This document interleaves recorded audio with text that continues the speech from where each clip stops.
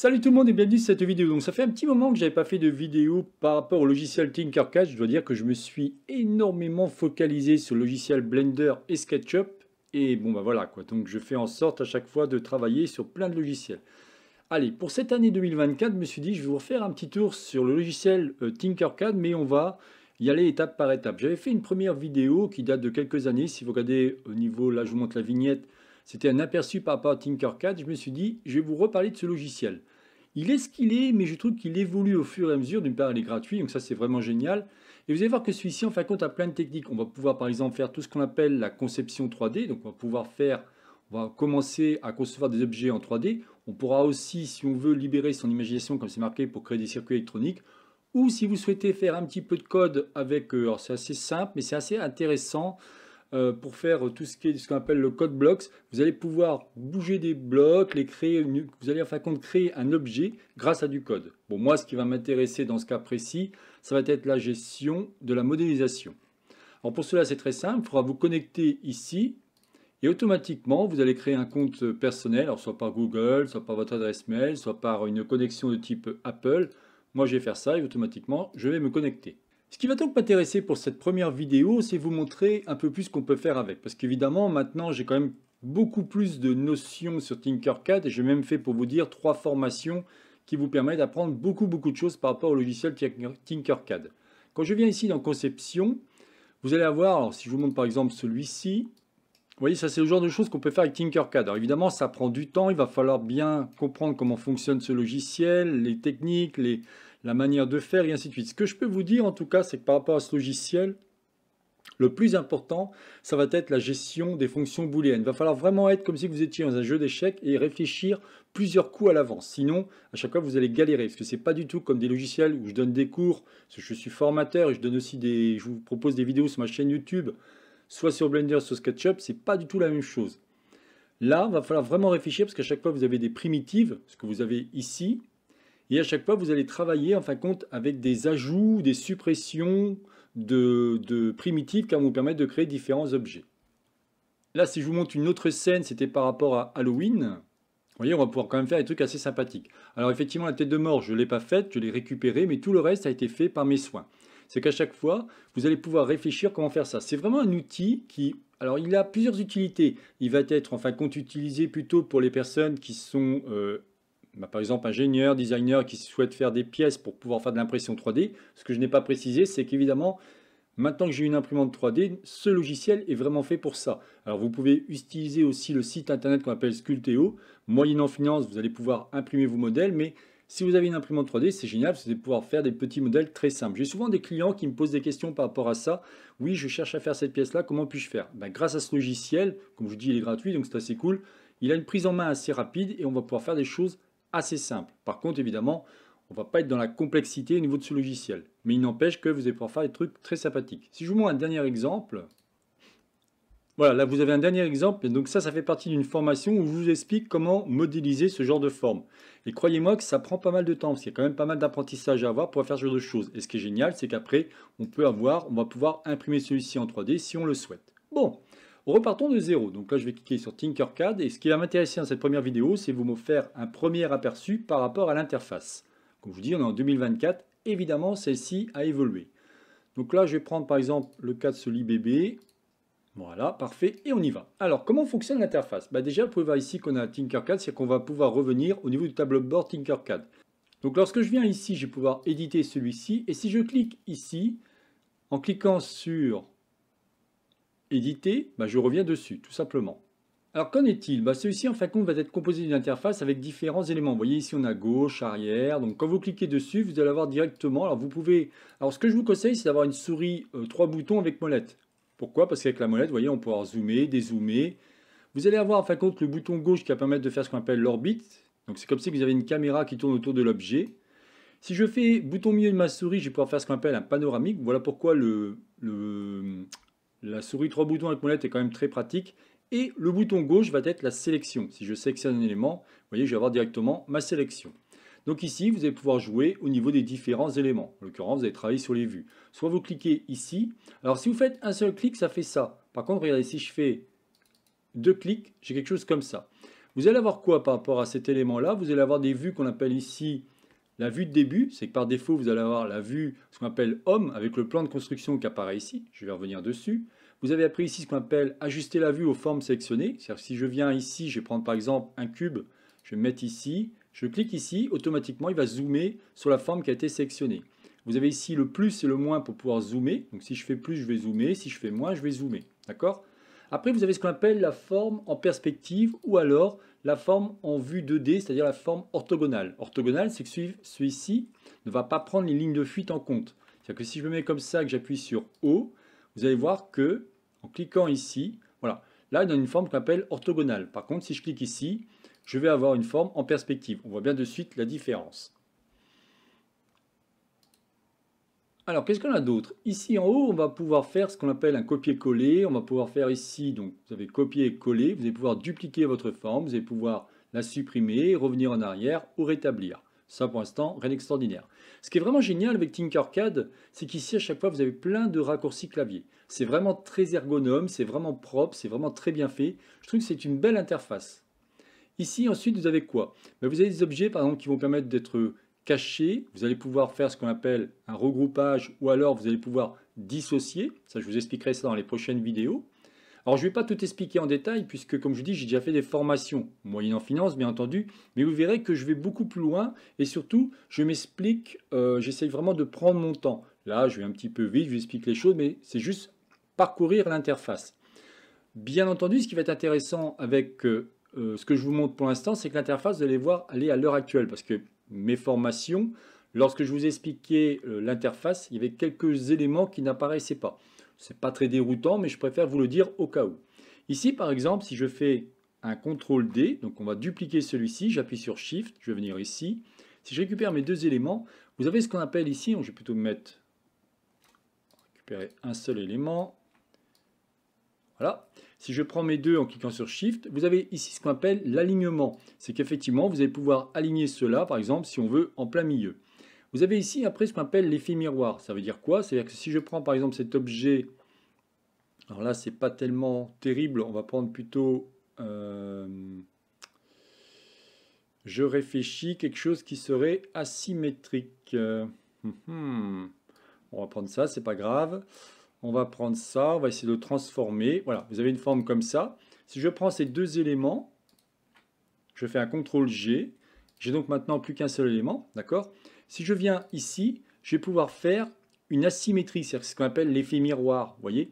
On va avoir une symétrie sur les axes X, Y, Z. Quand je dis X, Y, Z, si je me remets ici comme ça, imaginez, ça c'est une grande ligne, ici vous aurez X, Là, vous aurez Y, dans ce sens-là, d'accord? Et en hauteur, vous auriez Z.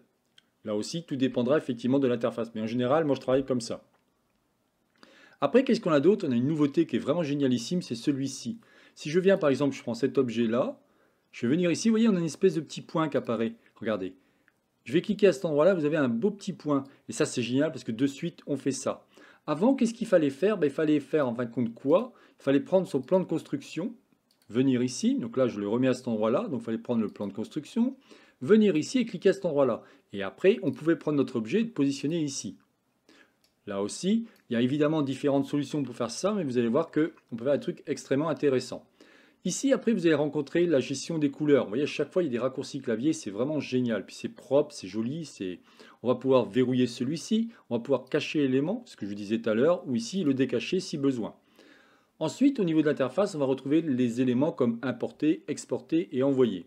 Si je viens sur importer, bien évidemment, on va pouvoir récupérer des fichiers, soit par rapport à une URL, soit de type de fichier STL, c'est vraiment propre à l'impression 3D, soit de l'OBJ, soit du SVG. SVG serait plutôt tous les fichiers qui sont liés aux imprimantes qu'on appelle CNC, pour créer des pièces en bois ou des choses comme ça. Ou alors ça peut être aussi par rapport au logiciel soit Illustrator, soit Inkscape. Donc, entre guillemets, je vous, ai, je vous ai fait une belle playlist qui vous explique comment fonctionne ce logiciel. Alors ce qui est vraiment génial avec ce logiciel, c'est comme je dis, on peut faire de l'impression 3D. J'ai maintenant une Adventure 3 de FlashForge et je peux faire vraiment pas mal de choses. Je vous montrerai au fur et à mesure des vidéos que je vais mettre. Je pense que je vais en faire peut-être 5-6 euh, pour au moins vous donner les bases, pour montrer un petit peu ce qu'on peut faire. Et après, je m'amuserai à créer différents objets. Et comme je dis, si vous êtes intéressé, regardez mes formations. Vous avez vraiment de quoi vous amuser pour apprendre ce logiciel. Ce que j'ai fait, en tout cas, il y a à peu près un an de ça, j'ai vraiment été au bout de ce que je pouvais faire. Mais après, bien entendu, celui-ci n'arrête pas d'évoluer. Donc quand on vient ici dans exporter, on va pouvoir exporter celui-ci soit par rapport à un logiciel, vous voyez, il vous dit soit tout le contenu, soit la forme sélectionnée. On va pouvoir optimiser mes conceptions par d'autres logiciels. Vous avez ici donc Autodesk. Je reviens ici, pardon, je clique sur exporter. Vous avez ici, on va pouvoir le faire par rapport à l'impression 3D. Donc on va pouvoir l'exporter en OBJ, en STL ou en GLTF. Très intéressant aussi parce que celui-ci, très souvent, va tout englober, les textures, les positions. Enfin, c'est très bien fait par rapport à ça. Ou comme je vous disais, on peut aussi récupérer celui-ci pour faire par exemple de la découpe laser. L'impression 3D, on va pouvoir l'envoyer vers différents sites si vous n'avez pas d'imprimante 3D pour faire ce genre de choses. Bien. Vous allez pouvoir envoyer celui-ci si vous souhaitez bah, pour partager vos applications et ainsi de suite. Ok. Alors ici, vous allez voir qu'il y a pas mal d'évolutions. Si par hasard vous suivez mes formations, vous verrez qu'il y a des choses qui ont évolué ici.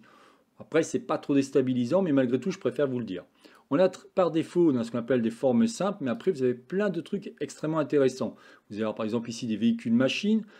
Alors ce qui est génial, par exemple, je vais prendre cet élément-là, je vais laisser mon doigt dessus, bouton gauche de ma souris, je laisse mon doigt appuyé et je fais ça. Et bien évidemment, ce genre de choses, on peut apprendre à le faire si on veut nous-mêmes, avec un peu d'apprentissage et ainsi de suite. Vous verrez qu'au fur et à mesure des vidéos, quand je vous aurai un tout petit peu expliqué les bases par rapport à Tinkercad, je vais m'amuser à modifier, enfin modéliser pardon, différents objets pour vous montrer ce qu'on peut faire avec. Donc comme je disais ici, on a pas mal d'informations extrêmement intéressantes. Vous allez pouvoir avoir beaucoup, beaucoup d'objets. Puisque c'est une communauté, eh bien les gens n'arrêtent pas de rajouter des objets. Par exemple, si je viens ici dans Objets quotidiens, vous voyez, on a des choses comme ça. Alors il y a des choses qui sont très bien faites, qui sont complexes à faire, mais des choses vraiment très simples. Par exemple, si je viens sur celui-ci, vous voyez, celui-ci, celui-ci est pas mal. Celui-ci, il y a pas mal de travail par rapport à comment ça a été fait. On voit qu'il y a une certaine réflexion. Je pensais que c'était un stylo tout simple. On va prendre plutôt le vert. À mon avis, c'est déjà beaucoup plus simple. Voilà, ça c'est déjà beaucoup plus simple. Ça me fait penser à un verre que je vous explique comment le faire en faisant en plus une inscription dedans pour faire ce genre de choses. Alors, ok, on a vu ça. Donc, vous avez ici le plan de construction. Vous avez ici ce qu'on appelle les règles. C'est que vous allez pouvoir, en fin de compte, en fonction de la position de votre élément, il va vous définir euh, entre plusieurs objets les valeurs qu'il va y avoir, l'écartement qu'il va y avoir, donc la hauteur, la largeur et pourquoi pas la longueur. Vous allez avoir aussi ce qu'on appelle des annotations, ça c'est assez récent. Vous allez pouvoir mettre des notes par rapport à ce que vous souhaitez, pourquoi pas, et marquer des informations. Bon, après c'est un choix. Et vous verrez qu'il y a beaucoup, beaucoup de choses. Hein. Quand je viens ici, si je clique sur forme simple, là vous avez déjà pas mal de choses, mais croyez-moi qu'il y a plein, plein, plein d'objets qui sont très intéressants. Vous avez aussi ce qu'on appelle les générateurs de formes. Générateurs de formes, c'est que vous allez pouvoir carrément tout modéliser. Si je prends le cas d'une forme simple, on va prendre cet élément-là. Ici, vous voyez qu'on a déjà des paramètres des propriétés, si vous préférez. On pouvoir travailler sur son rayon, on pouvoir travailler sur la longueur, la largeur, la hauteur, et ainsi de suite. si je ne veux pas quelque chose d'aussi important, je peux venir ici, zoomer avec ma molette de souris. Rappelez-vous que si je veux si je veux aller plus vite, je vais cliquer ici. Donc là, il n'a rien récupéré. Mais par contre, si je clique ici, je clique là, hop, je me positionne bien directement dessus. Et là, je vais pouvoir travailler ce qu'on appelle les étapes. C'est qu'en gros, on va pouvoir travailler sur le bevel. Le bevel, c'est un chanfrein. Vous allez pouvoir travailler sur ce rayon et ainsi de suite. Vous verrez qu'il y a plein de techniques pour pouvoir tranquillement modéliser des éléments. Ok, donc là, on a vu ça. Alors ensuite, ici, vous allez même pouvoir rechercher, si vous savez le nom de la forme, celui-ci, en tapant à cet endroit-là. Par exemple, si je tape cube, il va me retrouver tout ça. Donc c'est cool, on va pouvoir retrouver énormément de choses. Là, je vous laisse vous amuser, regardez comment cela fonctionne. Ensuite, en bas, qu'est-ce qu'on a? Eh bien ici, vous avez les paramètres. Donc ces paramètres vont vous donner pas mal de choses. Vous avez ici la couleur d'arrière-plan, si vous souhaitez la modifier. Vous allez pouvoir afficher les ombres, afficher la grille, naviguer, comme il vous dit, par rapport à la vitesse de zoom. Si vous trouvez qu'elle n'est pas assez rapide, on va pouvoir modifier celui-ci. On va pouvoir travailler en unité mesure, soit en millimètres, soit en pouces, soit en briques. Pourquoi en briques? Parce qu'en fin de compte, celui-ci peut aussi être exporté pour euh, tout ce qui va être le Lego. Ça, ça peut être très sympa par rapport à ça. Là, c'est pareil au niveau des valeurs définies. En fonction de votre imprimante 3D, alors là, ça évolue, bien entendu, il n'y a pas toutes les imprimantes dedans, mais en fonction de l'imprimante 3D, vous pouvez carrément dire ben, quelle est la grille sur laquelle vous faites de l'impression 3D. Là, je ferme les paramètres et vous avez ici en dessous la grille d'affichage. Quand je viens ici, vous pouvez dire un écartement, euh, on pourrait dire une unité mesure en briques ou alors en millimètres, 5, 2, 1 et ainsi de suite, ou même inactif. En général, moi j'essaye toujours de laisser euh, un accrochage, c'est plus facile pour pouvoir positionner mes objets là où je le souhaite. Dernière chose intéressante par rapport à l'interface, quand je viens ici, vous pouvez voir qu'on a ici une espèce de pomme. Donc là, il faut que je récupère une autre scène. Comme je vous disais, on est en 2024 et Tinkercad n'arrête pas d'évoluer. Donc si je viens ici, vous allez voir que d'un seul coup, on a quelque chose comme ça. Et si j'appuie sur le bouton lecture, je vais carrément avoir une espèce d'interaction. C'est ce qu'on appelle en... C'est la gestion de la gravité. Eh bien, Tinkercad vous a permis de faire ce genre de choses. C'est assez sympa par rapport à ça, avec pas mal d'options et ainsi de suite. Tout à l'heure, je vous parlais donc qu'on va pouvoir, si on souhaite, en faire un, euh, tout ce qui va être Lego. Alors, vous avez plusieurs solutions. Vous avez en fin de compte le laboratoire de simulation. Vous avez ici ce qu'on appelle le bloc. Si je viens ici, ça doit vous rappeler quelque chose. En fin de compte, vous allez pouvoir transformer celui-ci par rapport à Minecraft. Vous voyez ici, on a du bloc de, de Rainstone. Donc, ça va nous donner quelque chose. Alors moi, ce n'est pas ce qui va m'intéresser. Par contre, ici, vous allez avoir une résolution différente. Et au bout d'un moment, vous allez peut-être retrouver la même chaise que je vous ai montrée. Ça, c'est une première technique. Je vais vous donner une autre technique qui est par rapport au Lego. Alors, vous voyez, on reconnaît de suite celui-ci. Alors là, vous avez quelque chose comme ça. On va pouvoir voir un petit peu ce que ça va donner. Alors, le Lego, j'ai remarqué qu'effectivement, bon, bah, des fois, il faut quand même être... Il faut peut-être agrandir un peu le modèle ou voir ce que ça va donner. Et ce qui est vraiment génial, c'est que celui-ci est fait carrément avec des briques de Lego. Et vous voyez, on va pouvoir carrément modéliser si on souhaite ce genre de choses grâce à du Lego. Comme vous voyez, Tinkercad, je vous rappelle qu'il est gratuit, va permettre vraiment de faire beaucoup de choses. Ça va pouvoir toucher à la fois les adultes qui veulent faire des pièces complexes ou alors les enfants qui veulent jouer soit avec Minecraft, soit carrément faire des éléments en Lego et après, pourquoi pas, les récupérer. Alors je ne me suis pas amusé à voir comment on peut réussir à faire ça en Lego, c'est-à-dire l'exporter l'envoyer par exemple chez un vendeur pour qu'il dise bah, tiens voilà tu me, tu me fais ça en Lego, en gros tu m'envoies les pièces et après je peux faire ma pièce directement. Je suis sûr que c'est possible, mais je n'ai pas essayé. Si vous avez des infos là-dessus, je suis intéressé parce que j'aime bien à chaque fois me, renseigner et comprendre comment ça marche. Voilà, bah écoutez, je n'en dirai pas plus par rapport à cette vidéo. Dernier point par rapport aux formations. Là, vous voyez par exemple, ça fait partie d'une formation. Je vous explique comment modéliser ce genre de choses.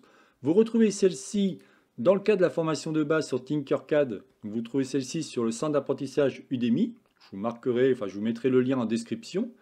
Et au niveau, et au niveau du centre d'apprentissage FATO.com, je peux vous proposer trois formations. Vous avez la première qui s'appelle Tinkercad pour tous, où je vous explique comment modéliser un petit train.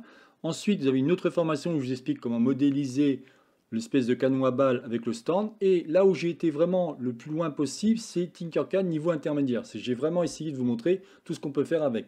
Comment créer des cuillères, des fourchettes, une assiette, euh, le, petit train qui a été mis dans des verres, et ainsi de suite. Vous allez voir que Tinkercad, malgré tout, on peut faire du profilage et c'est très intéressant. Voilà, donc cette fois-ci, je n'en dirai pas plus par rapport à cette vidéo. C'était donc la chaîne Savoir pour tous, réalisée par Jean-Michel. Si vous avez aimé cette vidéo, n'oubliez pas de liker ou tout simplement vous abonner à ma chaîne. N'hésitez pas à me poser des questions si vous voulez en savoir plus sur Tinkercad ou d'autres thématiques. Je me ferai un plaisir de vous répondre. Je vous souhaite une bonne journée et à la prochaine vidéo. Bye bye